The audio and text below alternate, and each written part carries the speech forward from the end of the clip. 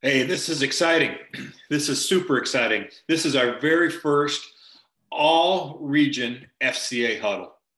It's happening during a pretty time of crisis, during a time of crisis. It's happening during a time of uncertainty, and there's a lot of chaos in our minds and hearts, and a lot of big question marks.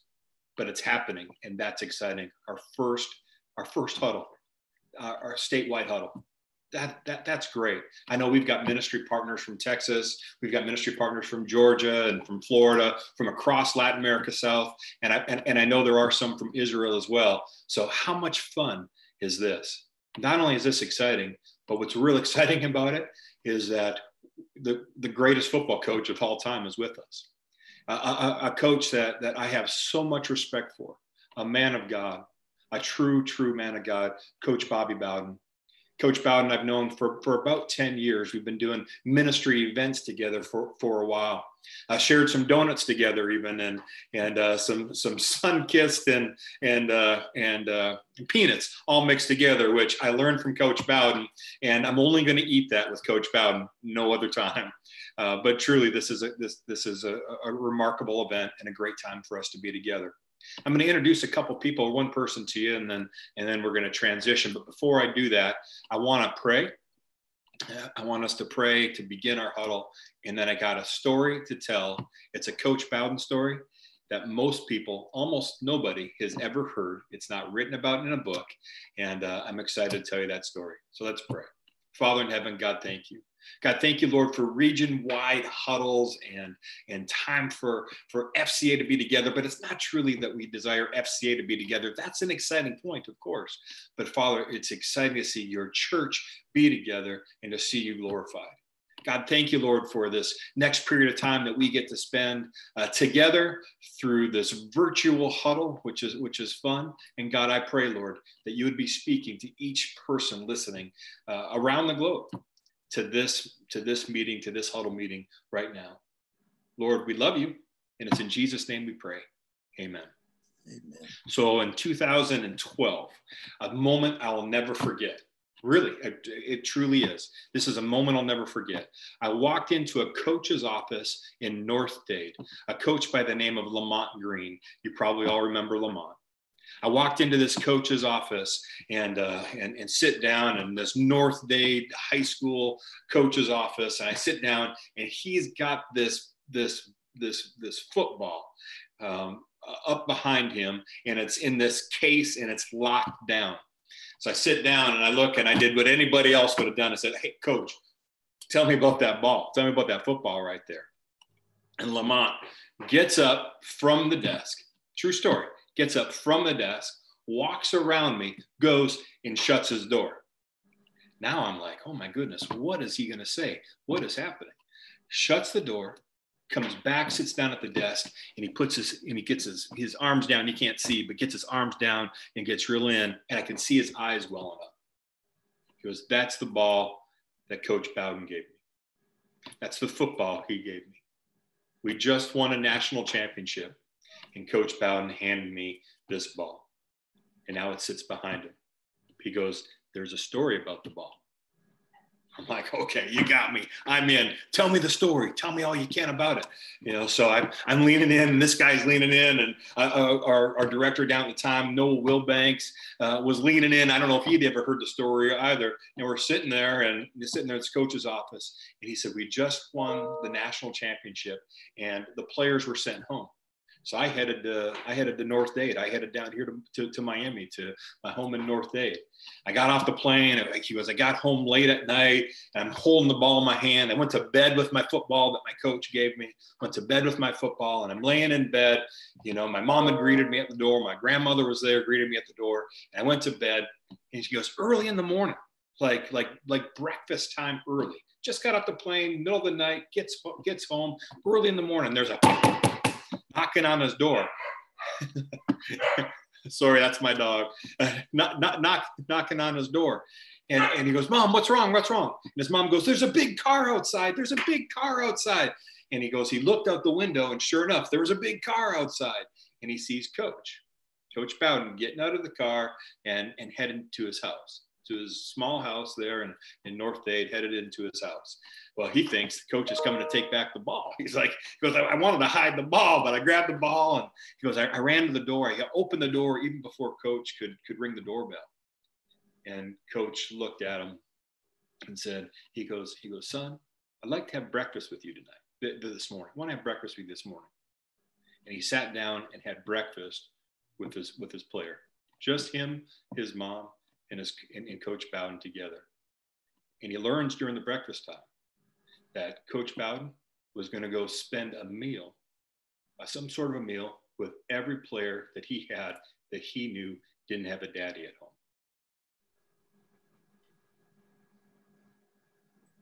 That's coach. That's Coach Bowden. I loved Coach Bowden before this, before I heard that story. But after I heard that story, I got to tell you, the love that I had for him, him went deep into my heart. A coach loving his players, being the father figure, and spending that time. You know, Florida State University, I don't know.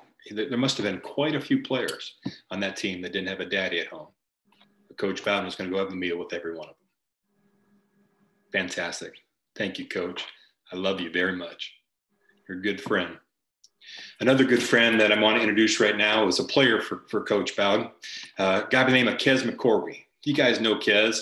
He says that, that he is Coach Bowden's favorite all time receiver. I don't know if that's true, but but but he was a great receiver for Florida State. Kez uh, is on staff with FCA and uh, has been working in our North Florida office for uh, go, going on four years now.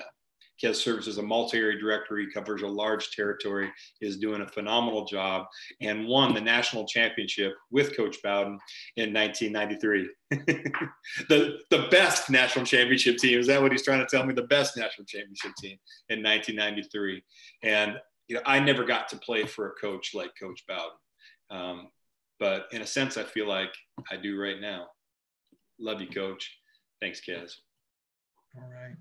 All right, guys. Hey, uh, how you guys doing? Uh, my name is Kez McCorvey, North Florida Director for FCA. I'm excited to get a chance to come here and and actually uh, get an interview coach, basically. And so what we're going to do is I'm going to ask Coach a couple of questions, and he has, I'm sure he'll he'll elaborate and talk about all different types of things. But I'm going to uh, hopefully get a chance to have conversation and just kind of hear his heart, uh, and as he speaks about uh, uh, all the things that uh, that are, are important to him. I, I I know for myself, I, I feel the same way too as well. I uh, a broken kid from Mississippi coming over to Florida State, and when you get, I, I, don't, I'm not sure if he knew what he was getting when he got me, but you know the atmosphere that he set on that campus, the atmosphere that he set within the context of that football program, it it impacted me. It impacted me. I've been married for 25 years. Uh, and I, I, believe it's in due to the uh, relationship I have with Coach. I have a son, and he's been influenced by Coach Bowden. You know, you've been influenced when your son has been influenced.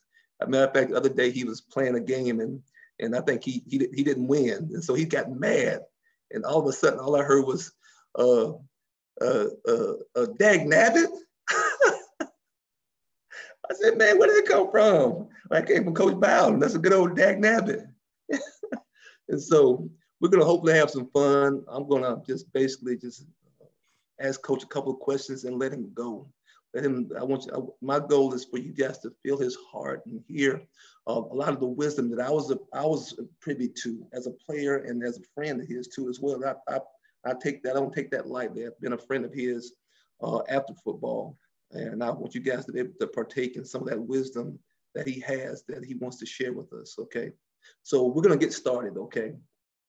We're to get started. So uh, basically, uh, coach, uh, what I wanted to ask first question. Okay. And knowing the situation we're in now as a ball coach today with the unprecedented, unprecedented situation of COVID 19, um, with the uncertainty of the seasons, uh, the sports culture as we know it, what are what are some things you would do and what message would you uh, would you present to your players and the, the fan community that, uh, that that that you would have access to I'll tell you one thing I'm do, yes.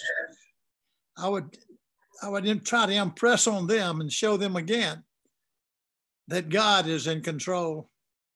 I would try to show them and get the message to them, which I think a lot of them would already know, that uh, God's more God's more powerful than all of us, and that we need Him.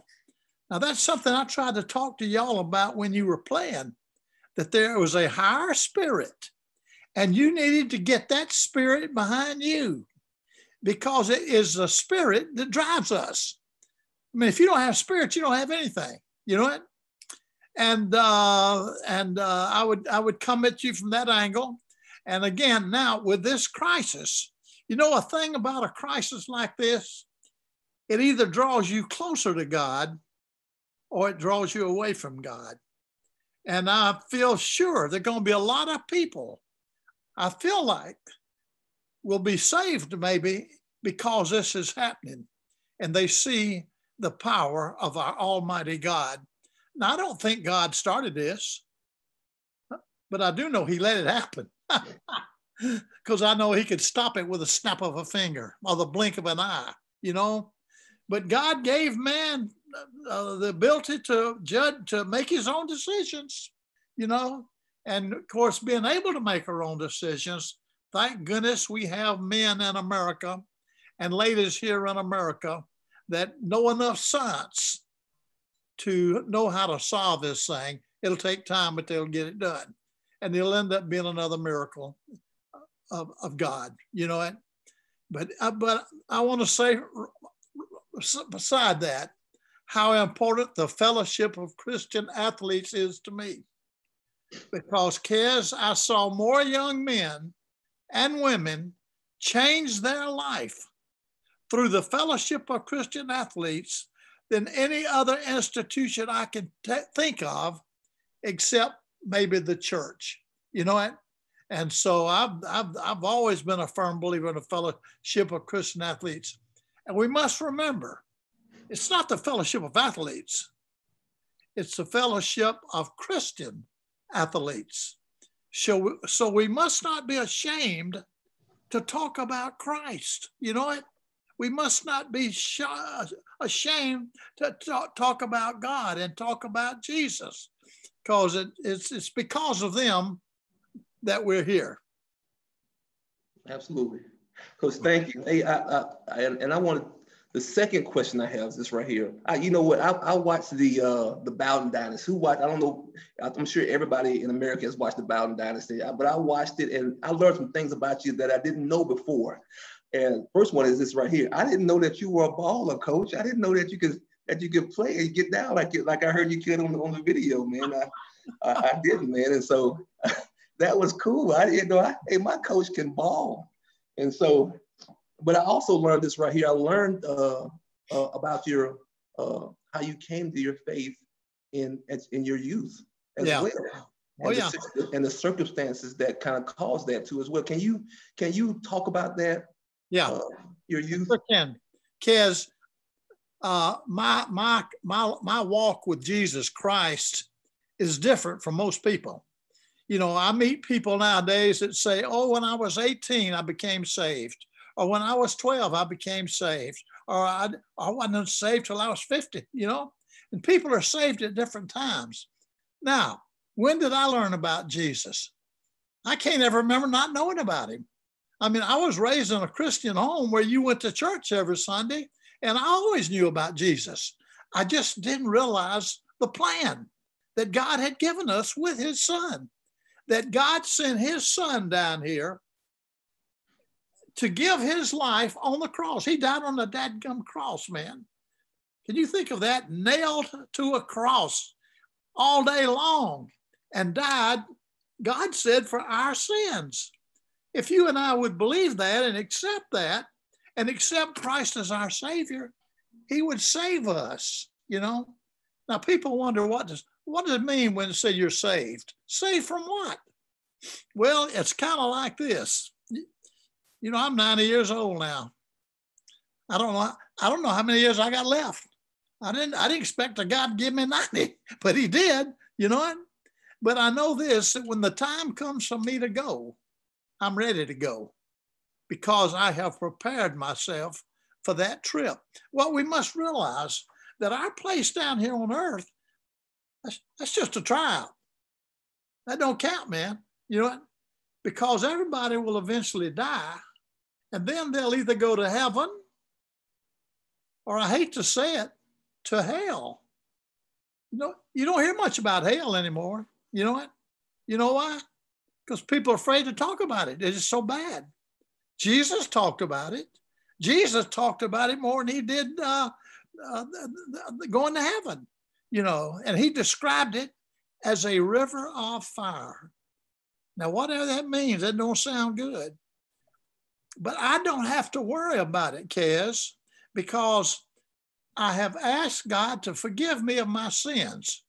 You say, you know, when I say I'm a Christian, I'm not saying I'm better than anybody. I'm not saying I'm better than you or anybody else. I'm just saved, you know. And uh, uh, I've accepted Christ as my Savior. I have asked Jesus to come into my heart, you know, and that and that I promised God I would try to follow Him. You know, let me let me tell you what God did. If you don't think God's alive, listen to this. When I was 13 years old, I, I played ball all the time with my buddies out in the yard. You know? But when I was 13, one day I was walking home from practice. My knees were killing me. I got home and said, Mama, my, my, my knees are just killing me. She took my fever out, a real high fever. She called the doctor. The doctor came to my house. Back in those days, the doctor came to see you. You didn't go see them. You didn't go to the hospital. They we came right by your house. And he saw, he said, son, you've got rheumatic fever. And he put me in bed. And I'll never forget, I sat up on the pillow. He said, get down on your back. I don't want you sitting up because it was a heart disease. And he didn't want me doing anything that might strain the heart. And I laid there in that dadgum bed for about six months, flat on my back, you know what? And uh, I had prayer one time. I remember I had prayer with my mother. My mother walked in the door and, and she asked me, she said, Bobby, do you believe in prayer? I said, Yes, mother, I believe in prayer. And so she said, Why don't you ask God to heal you? I said, Mama, I do, you know, but I prayed to God, God, if you will heal me, I will try to serve you the rest of my life. Because you see, back when I was growing up, 1943, the expected life average of, uh, of rheumatic fever was 40 or 45 years old. Of course, when you're 13, you say, oh, that's a long time. You, you don't even think about it. Well, now I'm 90. that makes 40 young. You guys that are 40 are young, I'm to tell you. But anyway, I asked God to heal me and that I would ser- try to serve him the rest of my life. Well, in two years, I got a I got an examination, Birmingham, Alabama Medical School, and they examined me, and the doctor said, Bobby, your heart is good. You got some scar tissue on it, but if you want to play ball, you go play ball. See, I couldn't play ball up to then. They wouldn't let me do anything like that. So I went out for the football team, played two years of high school ball at Woodlawn High. And then I went to the University of Alabama, stayed one semester, got married. Back in those days, if you got married, you couldn't have a scholarship. So I transferred up to Samford University and played four years of football up there. I was a quarterback, you know. And uh, so, anyway, God answered my prayer, Kez. You know what? And then, just to show, then let me tell you what happened. I coached for 56 straight years. In 56 years, I had six different jobs at four different schools because I came back to two of them twice. You know, so I, I had 46 jobs. I did not apply for one of them. Now, aren't you supposed to apply to get a job? Well, sure. People don't just call you and say, well, hey, we want to hire you. you have to apply. But I didn't apply for these, you know. Now I applied for some jobs I didn't get. I got turned down. Every time I'd apply for one, I get turned down. You know what? But these jobs were given, handed to me. You know, who was that? That was God answering my prayer. The last football I gamed at Samford played at Samford University. The athletic director came up to me after that year. He said, Bobby, if you'll go get your master's degree, we'll hire you here as assistant coach. Oh boy. So I went and got my master's degree and they hired me as assistant coach. Up to that time, I didn't know what I wanted to do. I hadn't decided I wanted to be a coach. I didn't even think about it. You know, my dad was a realtor and he wanted me to come in there with him. I thought, figured that's probably what I would do. But gosh, I got a job, I got to take it. So I started coaching my first year out. I coached here two years. I get a phone call from the president of South Georgia College. I ain't never heard of him. Bobby, would you be interested in a head coaching job at South Georgia? A head coach? Dad gum right, I'd be interested. Come down for an interview. I go down for an interview, get the job. I coach here four years. We won three state championships. Come out second, I think, the fourth year. And then the, the president comes in and says, Bobby, we're going to have to drop football because we're all losing money. So all the junior colleges that played football in Georgia dropped football. You know what? Now I want to coach football.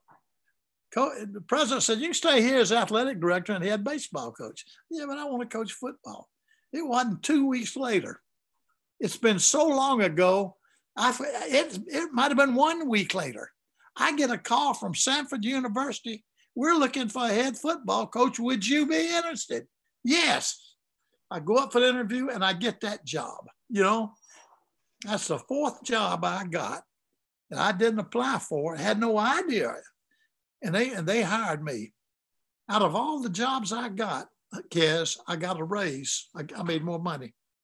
I started off at $3,800, $3,800 a year. I finished with two and a half million a year, which is no record, but wasn't bad back when I when I got that, you know. But there, there's no doubt to me, God is alive. People better understand that. And God will answer your prayer. But you know, God says in the Bible, you don't have because you don't ask. How about that? You don't have because you don't ask. Well, ask. Hey, I ask, I ask, and I receive, boy. You know what? Now, I asked for a lot of things I didn't get. I got a lot of no's.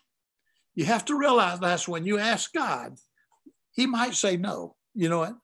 But don't think that ain't an answer. No's an answer. You know what? But uh, God, I mean, I'm, I'm, I'm, I'm, you're hearing firsthand, not second or third hand from somebody you never met, what God can do. You're hearing from right off the mouth of a guy that it happened to. You know it? And I am thankful to God to this day. Awesome. You know, the way He blessed me, gave me a wife. Ann and I have been married 71 years. That's a miracle. Anybody married will say, "How in the world you stay married for 71 years?" I don't know, but Ann and I loved each other. and We still do today, and like I say, 71 years have gone by, you know, and we're we're looking for more. But uh, gosh, God has been so good. Now here we are, got our nation in a in an emergency, killing a lot of our people, killing a lot of our people I, I wish every American American would get down on their knee and ask God to heal this virus. You know, I, th- I think we're going to eventually solve it through our drugs and through the great doctors and physicians and scientists that we have nowadays. But you know, God could do it just like that if he would just if he would. But maybe maybe maybe we Americans need to ask him, you know, and let him answer it anyway, that's my story and I'm sticking to it. Oh, Coach, I, I love that story. I, I, recall the first time I heard you speak about that. You were speaking at a, a, a coach's clinic. It's about 5,000 uh, coaches in the audience. And I'm in the audience too. And so, but I'm in the audience thinking to myself, I know Coach Bowden. I know Coach Bowden. Hey, I'm, but it's 5,000 people in the audience. And every coach at, the, at those clinics the first, the only thing, I mean, the one of the main things they're looking for is this right here: is how do I get a better job? And I recall you coming into that meeting and you speaking to those guys about that. Okay, this is my story. You told that exact story you just told, right? Yeah. But then yeah. you also added to it this right here. You said you said this right here. It's a diamond that I keep with me, not only in football but in life. Period. And you told you said, don't worry about the next job. Worry about being excellent at the job you already got, and the next job will take care of itself. Kez, I still stick by that today. I still, yes. still, I mean, I, a lot of times I see coaches trying to get ahead, trying to get ahead, always looking ahead. Want another job? That ain't the way to get a job. The best way to get a job is work as hard as you can where you are. Treat that job like it's the last job you'll ever have.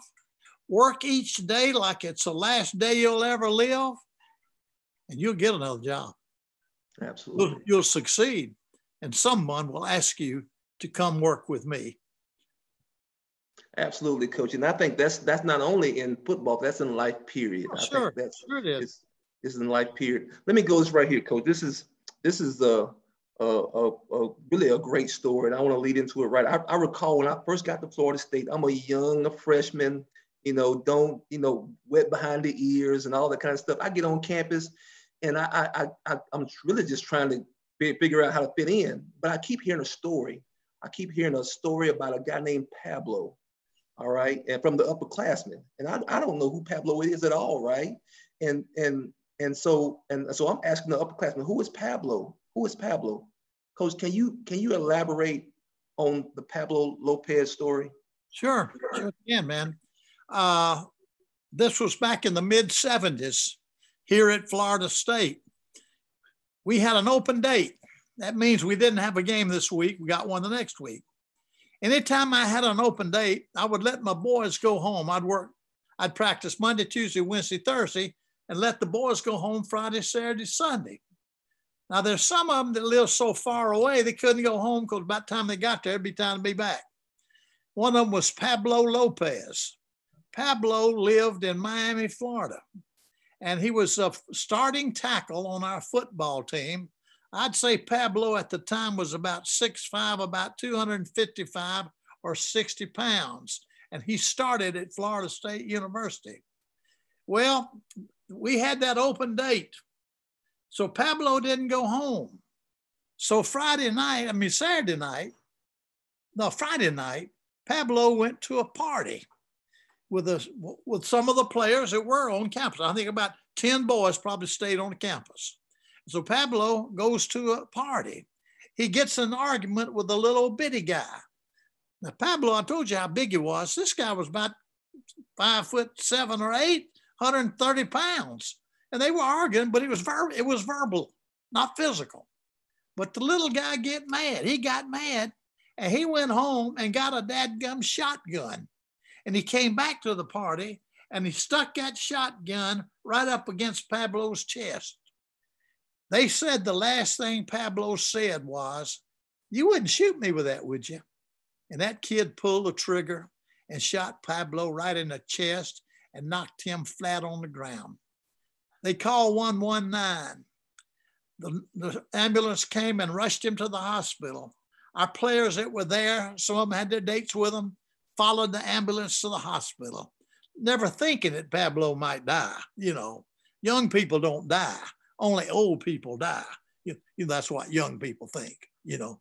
So anyway, I get a call that night about 1.30, 2 o'clock. Coach Bowden, you need to get over to the hospital. One of your boys is here and he's hurt bad. So I got up and got dressed, went to the hospital, took probably about 25, 30 minutes. And when I walked in the hospital, one of the first people I saw was the doctor.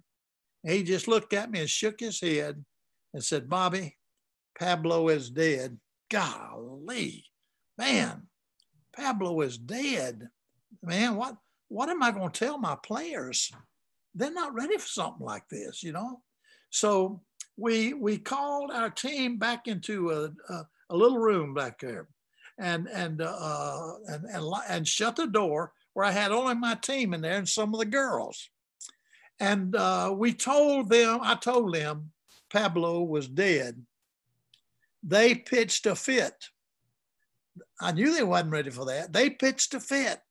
The girls pitched a fit, hollering, screaming, kicking on the floor, laying on the floor, beating on the floor. You know what? And finally, when they settled down, I said, "Hey, men, tomorrow two o'clock, up in the coaches, up in the players' on players' room, we're gonna have a meeting, everybody, because all the boys that went home, we told them to be back by two. So the next day at two o'clock, we're sitting in our team room where I had, remember, I had 11 seats across the front where the first team offense sat. Then I had 11 seats behind them where the first team defense sat. Then 11 seats behind them, the second team offense. And then the second team defense, third team offense, all the way till I could seat about 125 boys, which was all of our players. Now, by seating them like that, if I saw an empty seat, I knew exactly who was missing.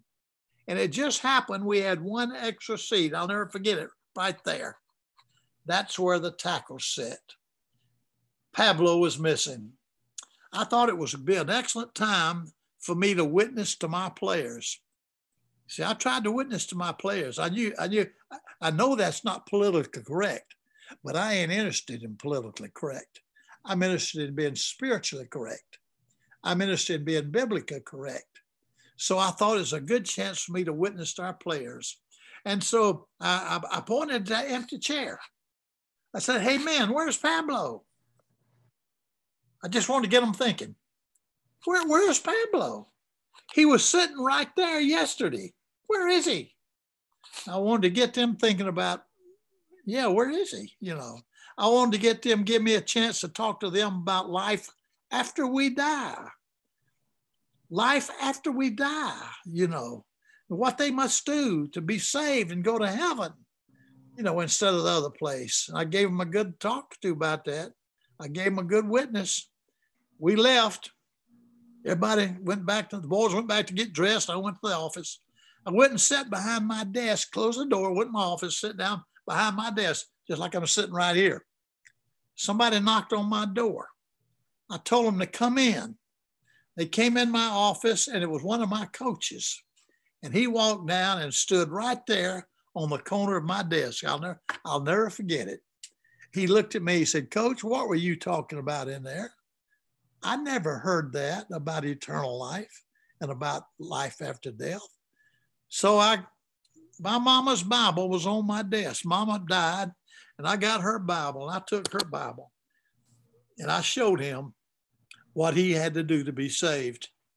Right there in my office, he accepted Christ as his Savior, and he and I prayed about it. That guy's one of the best Christian men. That, that, that's been 25, 30 years ago. He is one of the best Christian men I know today.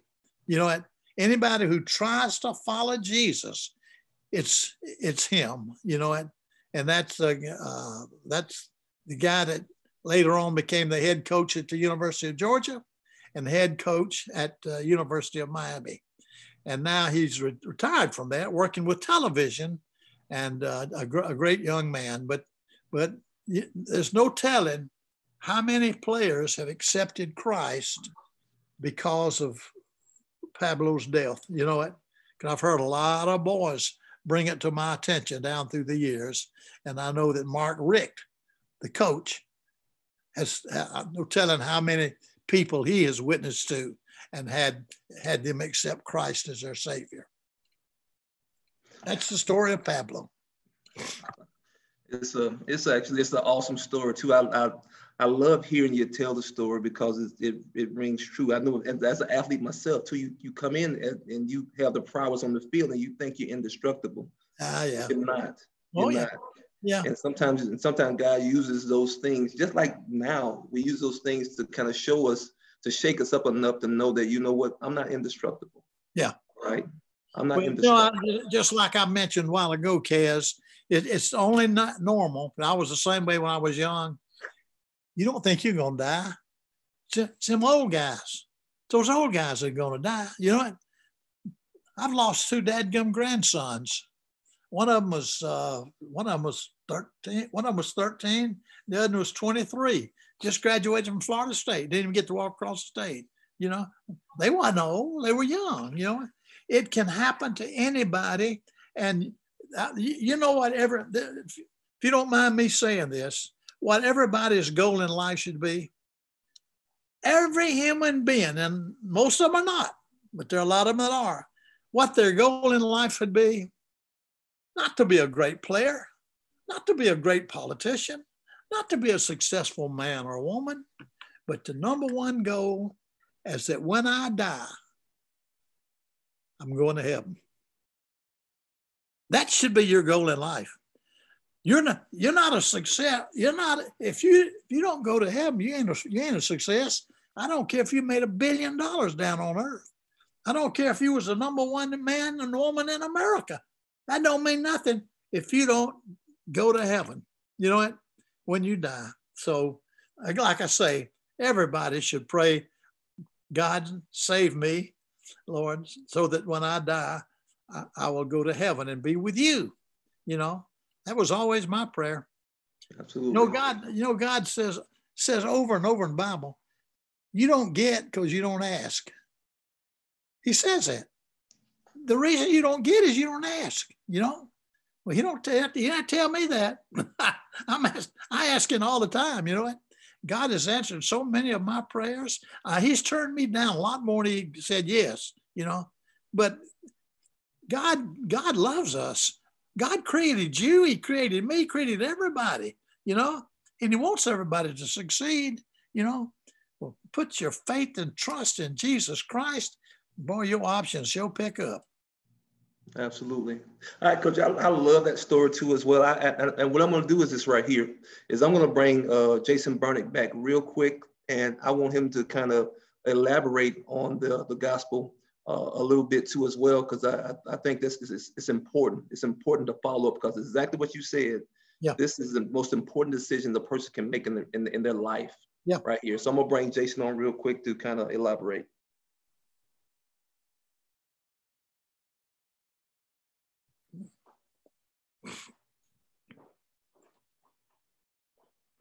Um, but uh, so don't go anywhere yet, Coach. Uh, uh, really appreciate that.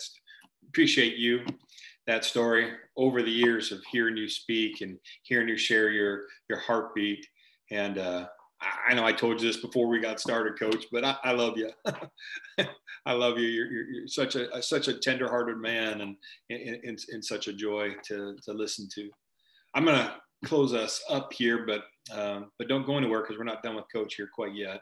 But I'm just going to wrap up some things that you already heard Coach talk about. Uh, just some things that uh, to, just to clarify and, and, make sure that things are that, that you understand. Uh, right now, um, with everybody listening, with all the people that are, that are listening to this and who will listen to recorded versions of this in the recent history, but everybody listening, this is such an unprecedented time in history uh, because of COVID because of the virus, because of because of whatever. But I need you to get this. All of us, those the, the our little short panel, as well as everybody listening, all of our staff uh, across our across our region, every coach, all the athletes, all the community, you donors and board members who who are involved, everybody that's listening right now. I got to tell you something. You got a lot of question marks going on in your head. You're dealing with you're dealing with some fear you're dealing with a lot of chaos. You're, you're wondering a lot about layoffs. You're wondering a lot about about health. You wonder a lot about your family that you can't see. I have a grandmother that that I that I can't see because because she's in a she's in, a, in an assisted living, and my mother and my father can't get in there to go to go to go see her. I can't get on a plane to go to go over to her. Even if I could get on a plane to go over to her, I couldn't go in there to give her a hug. She's fine, praise God. But I'm just telling you, right now we're in a weird time, and everybody listening has there's some brokenness going on. There is. Watch the stock watch the stock market for market just for a moment, and it's a difficult time. So I want you to listen. In that brokenness, in that chaos, in those all those question marks that you have going on in your in your in your heart and your mind right now, I need you to pay close attention to this and, and we actually we're going to share a screen with you here just so you can see something uh, just to help diagram out just what i want to share with you. And this is vital. This is important. It's why it's why it's, it's why coach got on the call with us. And by the way and that is i need you to grab this that god loves you.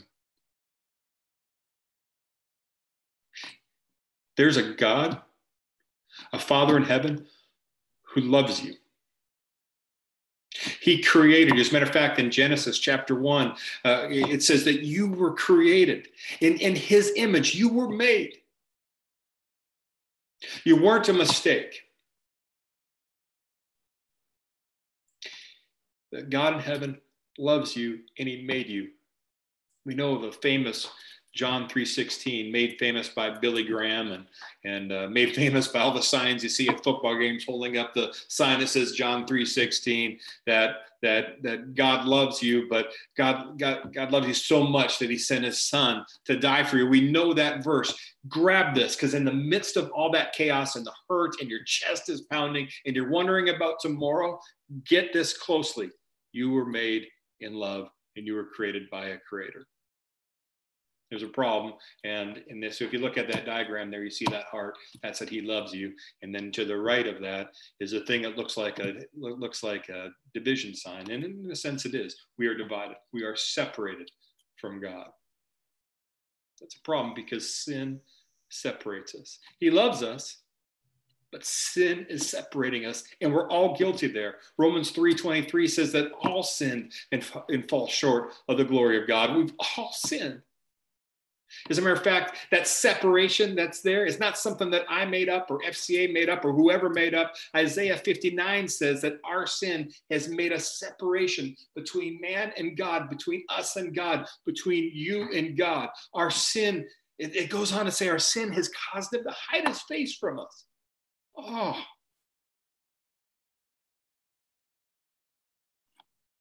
But Romans 3:23 says, that, or 623 says that the wages of sin is death. But the verse doesn't stop there. The wages of sin are death, but the gift of God is eternal life, and that's the cross. See, sin does not stop God from loving you. There's a separation there, but you were made in love. Made in love, created in love. He loves you. There's this break but the wages of sin is death. But the gift of God is eternal life. That cross brings you eternal life. It makes you whole again. Sin did not stop him from loving you. In Romans 3:23, it says that you have that eternal life.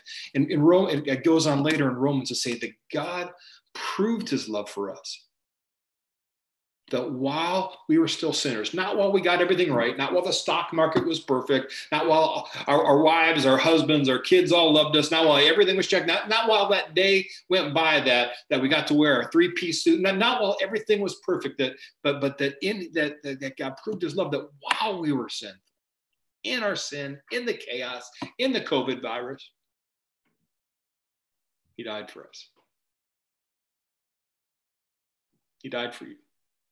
Not when you had everything perfect, but while you were broken. See, God loves you. There's a problem, and that's that we're separated from Him. But that separation did not stop Him from loving you and sending His one and only Son to die so you could live, so you could have eternal life. And that's a game changer. That changes everything for us. Knowing that a father would give his son so that you could live, that's a game changer. It changes how we parent, it changes how we minister, it changes how we coach, it changes how we do our taxes, it changes everything because God loved you so much that he didn't want to stay separated from you. So he sent his son to die for you so you could live with him. So that you would never experience hell. And in the chaos, I'm looking out my window right now, in the chaos of an invisible virus, an invisible enemy that we cannot see, let me tell you, there's hope. And it's the only hope you need, even when that virus isn't there. And that's that question mark. What are you going to do with that? What are you going to do with this knowledge that you were created in love, separated from God, but He loved you so much that He sent His Son to die for you? Now, what do you do? Will you trust Him? Romans 10 9 says, If you confess with your mouth that Jesus is Lord and, and believe in your heart that God raised Jesus from the dead, you will be saved. That's the game changer. That's the beauty of following Christ. It's not about another religion. It's truly not. It's not about a set of rules that, that, that, that drive us. It's about a God that would come to earth to die so you can live. The question is, is will you give your heart to him? And if this afternoon at 3:45 is uh, I don't even know what date it is. Every day blends together, but uh, this afternoon at 3:45 is a moment you feel God tugging at your heart. Then let's pray together. And there's going to be a new screen on, but while we change the screen, just close your eyes, bow your heads. And let's pray together. If you want to pray that this is your moment, that you truly want to trust God to give your life to Him, let's pray. There's not a magic prayer. So pray to yourself, but something like this Heavenly Father, I'm broken. I'm confused. I'm lost. I need you. I'm a sinner. All have sinned. I'm one of them. I'm a sinner. I know that you made me. I trust that. But I'm separated for you, from you, and I need you. I'm turning away from that sin. I'm repenting. I'm going away from that. I'm, I'm going to follow you. I'm giving my life to you. I recognize that, that you are God. I recognize that, that you did send your son, that you came to die on a cross so that I could live. I'm so thankful that that, that, that Easter is just in a couple weeks from now, where we, I get to celebrate that that tomb is empty. God, I want to give my life to you. I know you sent your son to die for me. And I want to turn and I trust you. You know that my only way of salvation is in you, in you alone. I trust you. In Jesus' name, amen. The next screen here is important. Excuse me, I have to use my glasses. But uh, if you've made a decision today, if today was the day that you said, I want to follow, I'm going to follow Christ. I'm going to become a follower of Christ. I'm going to become a Christian. If you prayed that prayer with me today and it was real, here's what I want you to do grab your phones and text this code. Take a screenshot if you have to, but text, text the code FCA 1472 to this number 46322. A long time. Go ahead and, and, uh, and do that. Send us that text. When you send us that text, what's going to happen is, is over the next few weeks, next couple weeks, you're going to get a couple of emails from us that from from with videos from professional athletes and great coaches and some FCA staff that are just going to help you in, in deepening your new walk with Jesus Christ. Maybe you have been following Jesus, but you've walked away from him. Text that in anyway we're still going to get you some good information that's going to help you reestablish. You didn't lose your salvation, but reestablish your new walk in Christ so that you can be more mature. Coach pointed out something. He says, fellowship of Christian athletes. Man, we love sports, but we don't do this ministry because of sports. We do this ministry because we know that you who love sports need to know Jesus Christ. So thank you for being on our first huddle. Coach, I want to do something, um, and that's why before we pass it over to to Chris Regan, Coach, I want to do something. I just like to pray for you. Okay. Okay, is that okay? Sure. All right. Father in heaven, God, thank you, Lord, for my friend. Lord, uh, thank you for Coach Bowden. Thank you, God, for the life that he's lived as coach, as husband, as daddy, as granddaddy. God, thank you for the life that you've given him and the call that you've had on his life to be a representative of you. God, thank you for all the, the young men that have played for him over, over so many years, over, over, over decades, in the influence that he had on their lives. I pray, Lord, for your continued protection over the, the Bowden home. And, and uh, Lord, I pray for, for, for many, many, many years of him sharing the story of what you've done in his life. God, you're Almighty God. And I want to thank you personally for Coach. In Jesus' name. All right, I'm going to pass it over. Uh, uh, one of our our ministry advancement coordinator, Chris Regan, has a very quick announcement for you, and then we're going to close out our very first FCA Region 14 huddle. Thanks. Go ahead, Chris. All right. Hey, welcome. Uh, thank you guys so much for being a part of just Coach Bowden and, and his his just legendary career and really more importantly his life in the lord that he shared with us today. Absolutely critical.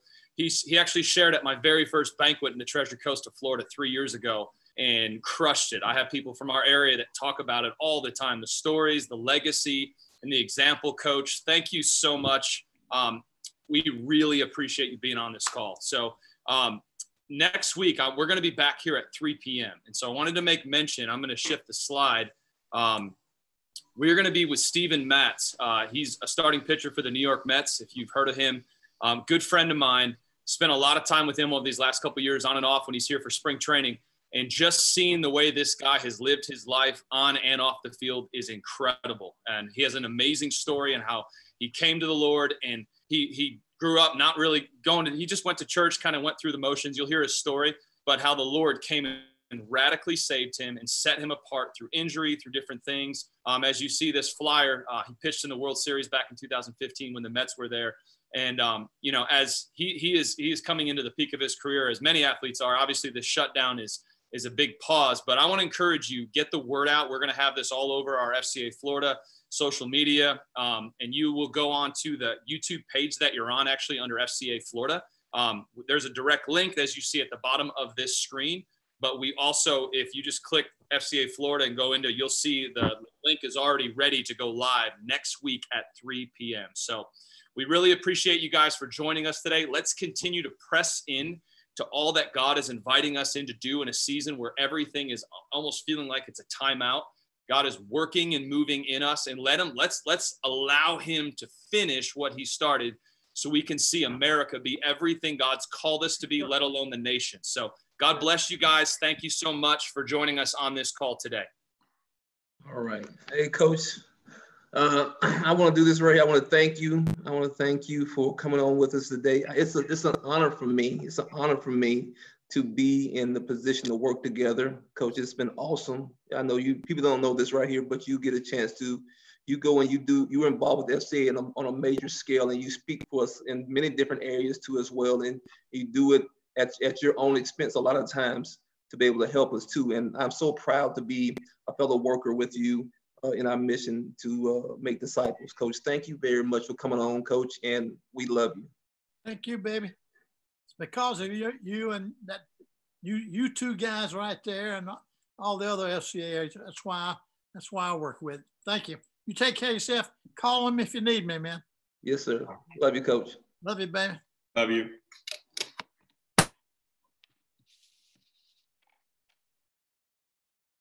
Bless you guys. Have an amazing rest of your weekend. Well, how'd it go?